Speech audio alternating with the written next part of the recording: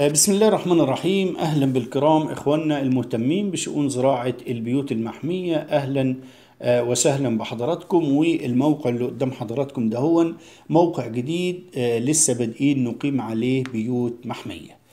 فعلشان آه، نبدأ نقيم على الموقع ده هو بيوت محمية في أسس أو اشتراطات لازم تكون آه، متوفرة في الموقع دهوت علشان أقدر أخسر فلوس وأحطها في البيوت المحمية دهيت اللي مكلفة جدا لابد تكون الاشتراطات ديت آه، متوفرة أو متواجدة في الموقع اللي أنا أقيم عليه البيوت المحمية دهيت تمام؟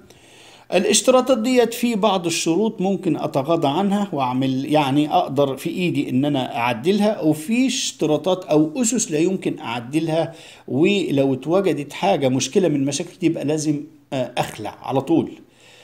آه، زي ما حضرتك برضو عايز تروح تتجوز كده معلش أنا بضرب مثل الله المثل الأعلى يعني بضرب لحضرتك مثل عشان أبسط لك المعلومة. عشان حضرتك تروح تتجوز وهتختار عروسة يبقى في اشتراطات ممكن تتغاضى عنها وفي اشتراطات لا يمكن تتغاضى عنها تمام؟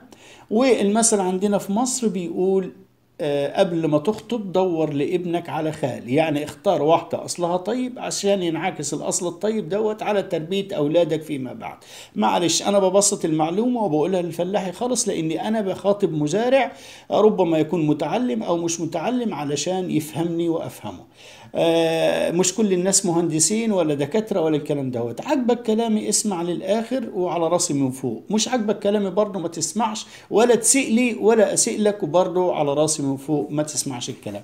ولكن أنا راجل ريفي فب يعني ممكن أكلمك بمصطلحات إنجليزي والكلام ده كلته وأعمل نفسي عنتر فجلة وفي الآخر هتطلع صفر الإيدين تمام؟ يبقى أول حاجة أول اشتراط في القصة ديت أولا مصدر المية يا جماعة. لازم مصدر المية عندك يكون كويس. المية عندك لازم تكون عذبة مية مالحة no ما تزرعش إطلاقا. لو عندك مية مالحة no ما تزرعش. طيب أنت عندك أنت عندك لو عندك المية المالحة طيب لو لو لكام يا باشمهندس نقبلها أنا عن نفسي بقولها لك بصراحة عشان تحصل على محصول جيد. ومحصول يغطي تكلفة البيوت المحمية يبقى ما تعملش نفسك شاطر وتروح تزرع لي على 2000 ولا على 1500 وتقول لي لا ده اصل جاري زرع على كده. معاك يا سيدي هو زارع بس مع المدى الطويل القصة بتاعته الأرض بتاعته هتزيد الأملاح فيها مستوى الأملاح هيزيد سنة عن سنة نتيجة إن هو بيضيف مية مالحة تمام؟ فإذا كانت الأرض عند حضرتك رملية أنا يعني ممكن أقبلها لحد 800 تمام؟ التمام؟ 800 بي بي إم أقبل أرض رملية تروى بمية مالحه طب ليه بنقبل الأرض الرملية بإن هي توصل لل 800 وماشي 900 لو 1000 هقبلها بس هبقى إيه؟ يعني آه، تعبان منها شوية مخنوق منها يعني تمام؟ آه ليه بقبلها بكده؟ لأن الأراضي الرملية المسام بتاعتها واسعة. النشاط الكيميائي بتاعها النشاط الكيميائي اللي على حبيبات التربه ما بيبقاش آه، نشطة قوي كيميائيا وبالتالي بتتغسل آه، بتتغسل ال ال الأملاح بتتغسل في باطن الأرض مع مية الصرف تمام؟ وبالتالي في مجمله الأراضي الرملية ما بتح... أراضي غرباليه أساسا م... المسام بتاعتها واسعة القوام بتاعها مفتوح المية اللي بترميها من فوق بتنزل على طول تحت تمام؟ بتروى في اليوم 3 4 مرات ممكن في الصيف. فالأراضي دي ما بتحتفظش بالمية يا جماعة. بعكس الأراضي الطينية أنا لا أرجح المية اللي بتروى بها الأراضي الرملية إن هي تزيد عن 500 أو 600 بي بي إم. أكتر من كده ما ينفعش. في أراضي طينية أيوه في أراضي طينية موجودة في في أراضي طينيه بتنزع في مصر في أراضي طينيه فيها نسبة أملاح. دي طبعا أراضي الرملية بت- بتحتفظ بالأملاح. في في سوريا أراضي آه، حمراء آه، ولكنها مش مش طينيه ولكنها أرض حمراء بتحتفظ بالمية.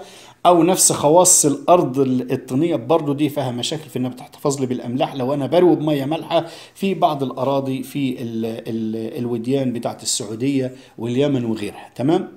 ففي الاراضي الط- الطينية أنا لا أرجح إن المية تزيد عن 500 بي بي إم. وقدرت كمان تنزل فيها نزل كمان. يبقى إحنا مصدر المية ده لا يمكن يا جماعة لا يمكن نتغاضى عنه. مية مالحه اخلع وما تزرعش ابدا اللي أنت بتخسر. تمام؟ دي رقم واحد. رقم يبقى خلصنا المية. طب رقم اتنين بقى هي إيه نوعية التربة. تمام؟ قبل ما أبدأ في نوعية التربة في حاجة يا جماعة لو لقيتوها في الأراضي عندكم بالله عليك عشان خاطري أبوس ضوافر إيديك ورموش عينيك. النيماتودي لو الأرض اللي عندك دي اتزرعت قبل كده اتزرعت قبل كده سواء كانت أرض رملية أو طينية واتزرعت قبل كده يبقى قبل ما تفكر أساسا حتى في المية تروح على النيماتود تمام؟ تاخد عينات من الأرض بتاعتك عينة ممثلة عينة ممثلة يعني إيه؟ يعني ما أروحش على حافة الأرض كده عايز أقيم الأرض على اتنين فدان ولا حاجة آخد شوية من الاتنين فدان وأروح أعمل. لا أروح أعمل 10 15 قطاع في الايه والمفروض 16 16 قطاع في الفدان 16 نقطة تاخدهم من الفدان الصح يعني تفتح عينة على تحفر حفرة على 30 متر وتقعد تاخد بإيدك وانت طالع من جدار الحفرة كده من تحت لفوق وتعبيهم في كذا كيس وتيجي على رأس الأرض وتخلطهم في بعض وتاخد عينة ممثلة وتروح بيها لمعهد البحوث أو كلية زراعة وتقول لهم يا جماعة أنا عايز مستوى النيماتوده أو تعداد النيماتوده في العينة دهيت هيكون كام؟ إذا لقيت فيها حتى نيماتوده ولو أقل تعداد وانت لسه ما عملتش البيوت المحمية اهرب وما تعملش بيوت محمية في المكان ده تمام؟ يبقى النيماتوده ديت لا يمكن أتغاضى عن دي مصيبة سودة. يعني أنت بتدمر نفسك. أنت بتدمر المشروع من قبل ما يبدأ أساسا. تمام؟ نوع التربة يا جماعة أنا لو بخ- بختار بين التربة التربة الرملية ولا التربة الطينية؟ أولا أنا عامل آه، فيديو بيتكلم بيقول عنوان الفيديو ابحث عنه في بانوراما زراعية وممكن أحطه لك كمان. عنوان الفيديو بيقول لي إيه؟ بيقول آه، هل يمكن إقامة ال- ال- ال- الصوب على الأراضي الطينية؟ موجود الفيديو عندك ومتكلم فيه باستفاضة. ولكن أنا لو مخير بين أراضي فيها أراضي طينية وأراضي رملية أخد أنهي أرض؟ الأراضي الرملية هي الأفضل لنمو الخضر لأن أنت في البيوت هتزرع خضر. فالأراضي الرملية هي الأفضل. ليه الرملية هي الأفضل؟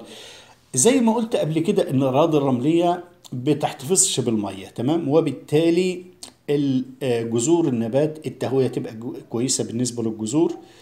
آه، لو التهوية كويسة بالنسبة للجذور وبتحتفظ المية ده بفكرك بإيه؟ بأن الرطوبة هتبقى قليلة في منطقة الجذور اذا فأعفان الجذور هتبقى خفيفة عندي قدر المستطاع. عن الأراضي الطينية الأراضي الطينية بتحتفظ بالمية بتحتفظ بالمية وبالتالي احتفاظها بالمية ده هو بيحتفظ لي بكمية عالية من الرطوبة سواء الرطوبة الأرضية اللي هي الري أو الرطوبة الجوية اللي موجودة في جو الصوبة تمام؟ طب لو الرطوبة عندي زايدة تحت هتعمل لي إيه؟ هتعمل لي مشاكل في اعفان الجذور. طيب لو عندي الرطوبة عالية في جو البيت المحمي هتعمل لي إيه؟ هتعمل لي مشاكل وأمراض فطرية بالنسبة لل وبكتيريا كمان في بالنسبة لي ال- على المجموع الخضري. اذا آه الأراضي الرملية مفضلة عن الأراضي الطينية تمام؟ الأراضي الرملية مفضلة عن الأراضي الطينية. الأراضي الرملية طبعا بتبقى عكس اللي أنا قلته بالنسبة للأراضي ال- الطينية تمام؟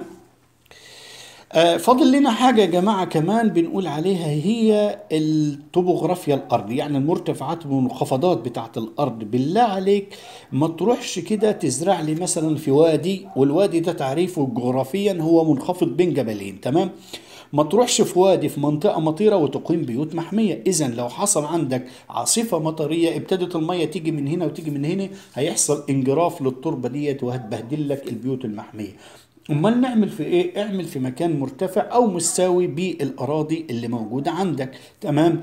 بالأراضي الموجودة يعني منطقة تكون متساوية كده أو متساوي مع الأراضي اللي جنبها. المكان المرتفع فيه مشاكل برضه في إن هو بيكون عرضة للرياح. وعشان يكون عرضة للرياح بس طبعا الطبوغرافيا بتاعت الأرض دي بقى من الحاجات اللي ممكن إيه؟ اللي ممكن نعدلها بمعنى إن أنا هصلحها اسويها اعمل أي حاجة بحيث إن أنا يعني ما تأثرش فيا الحاجة دي. أما مصدر المية والنيماتوده ونوعية التربة أو مصدر المية والنيماتوده بالذات دول يمكن أتغاضى عنهم. إذا كان في مشاكل أخلع وألم العدة بتاعتي وأمشي ما استناش خالص. تمام؟ طيب آه، بالنسبة لإقامة البيوت المحمية ما أروحش في مكان مفتوح يا جماعة وخاصة خاصة حط دي تحت دي 100 خط وخاصة إذا كنت بعمل بيوت محمية وهتكون مغطاة الغطا بتاعها هيكون بلاستيك. البلاستيك طبعا بيبقى شرايح والشرايح سهلة في الأماكن المفتوحة إن هي آه، يحصل لها بتطير أو هتتقطع أو يحصل لها أي مشاكل. طيب في الحالة ديت طب لو ما عنديش الحتة ديت أقدر أزرع جزورينة مصدات رياح من الأربع جهات ولكن يشترط إن بين الجزورينة وبين البيوت المحمية من الأربع جهات لا تقل المسافة عن 7 8 متر بحيث إن لا في ظل يجي ولا في جذور من الجزورينة تدخل لي جوه أو آه، ال- أي نبات اللي أنا هعمل بيه مصدر رياح. ما يكونش قوي يعني يكون بعيد عن البيت المحمي عشان الجذور وعشان التظليل ما يحصلش تظليل على البيوت وبالتالي تحصل لي مشاكل بالنسبة ل- ل- للمنطقة اللي تبقى آه، مظللة بالنسبة لل- داخل البيوت المحمية. تمام؟ ده اللي أنا أقدر أقوله لحضرتك بالمختصر المفيد في الاشتراطات الواجب توافرها أو الأسس الواجب توافرها آه، في الأراضي التي يقام عليها البيوت المحمية. شكرا لحضراتكم. السلام عليكم ورحمة الله تعالى وبركاته.